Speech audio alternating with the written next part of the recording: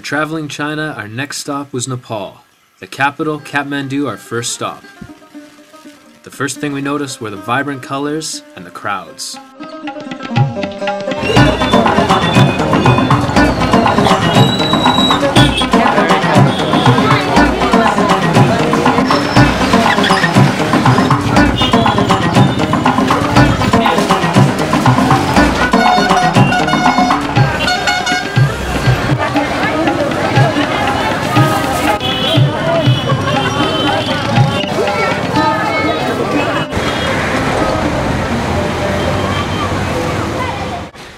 After our shocking introduction, though, we soon noticed how delicious the vegetarian food was and how friendly the people were.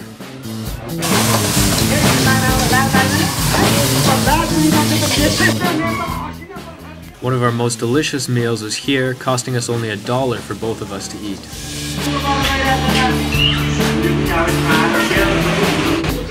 The most delicious food we've had at Nepal so far. Delicious. Even in a huge city like Kathmandu, the people are always super friendly and willing to help, or sometimes ask for a bit of change. Hi.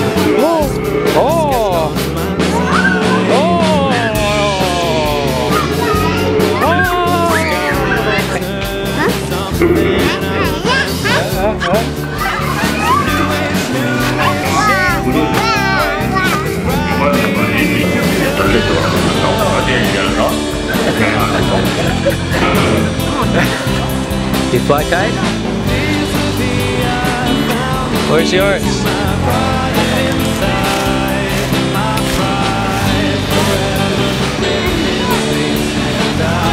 If you want some quick, take a picture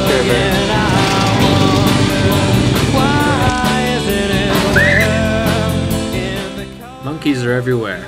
They use the power lines as highways and they'll steal from you, so beware.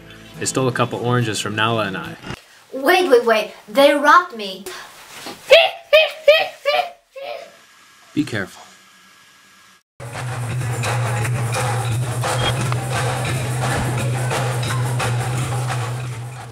The spiritual sites were the main reason Nala and I went to Nepal, and they didn't disappoint us.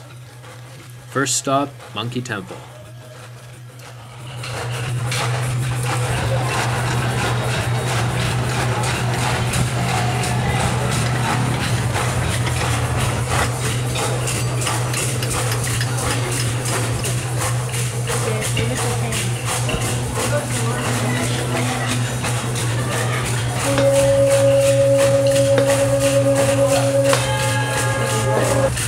Nu get in the.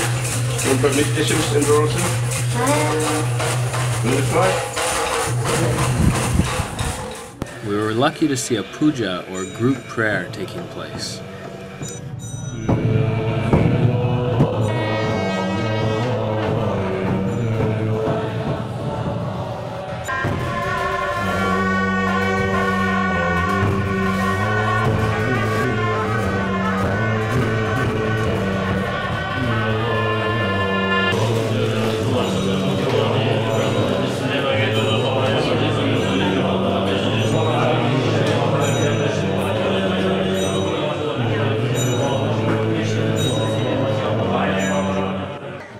Spiritual activities are taking place all over the city as well.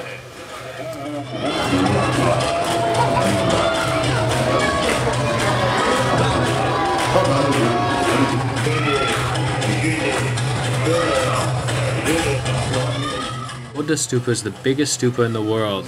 Kathmandu has a huge Tibetan community, and you'll see many Tibetans making their rounds around it, making spiritual wishes for this life.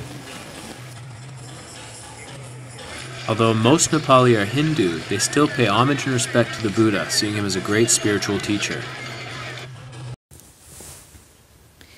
Om Namo Manjushri Namasu Shri Nama Utamashi Soha Om Namo Manjushri Namasu Shri Nama Utamashi Soha Om Namo Manjushri Namasu Shri Nama Utama Soha.